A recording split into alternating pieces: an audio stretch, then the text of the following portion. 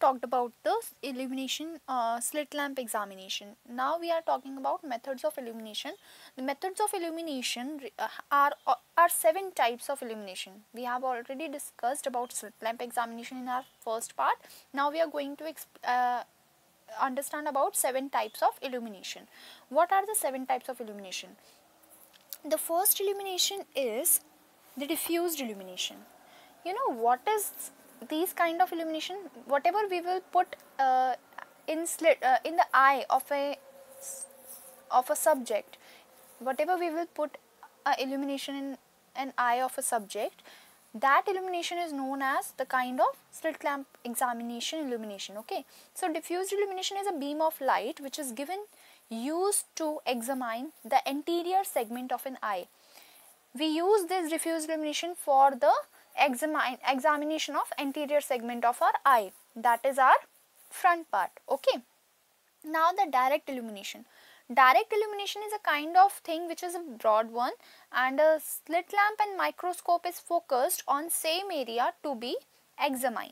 जब भी uh, whenever you want to examine the eye of a subject then with the direct illumination then you have to put this thing this illumination in focus on that same area which is used to be examined.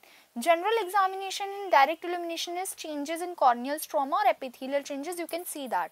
The indirect one, the third one is indirect one, which is position beside the area to be examined corneal microcyst and vacuoles. This means whenever we you need to see the small particles which are on cornea, then you can see that the indirect illumination. Now the fourth one is retro illumination. Retro illumination is the slit lamp examination is done on iris and fundus or, or your microscope is being focused on cornea also to examine the corneal edema, neovascularities, microcyst and infiltrates. These things you can do with retro illumination. You can see these things on Google also what kind of illumination and what shape are there for this. The specular ref reflection is the fifth one the angle between slit lamp in this we just make a angle increased by 60 degree which is making the angle of incidence equal to angle of reflection.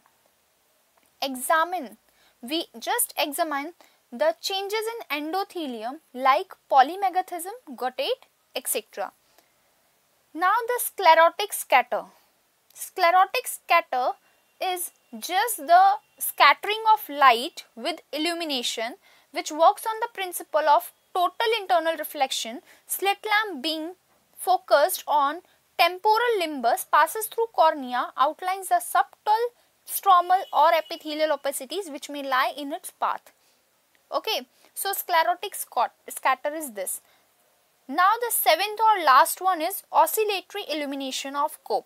Oscillatory illumination of Koeppe is just a kind of illumination which is which will oscillate. Okay, Beam is given to an oscillatory movement by which it is often possible to see minute object, minute objects you can say or filaments especially in aqueous.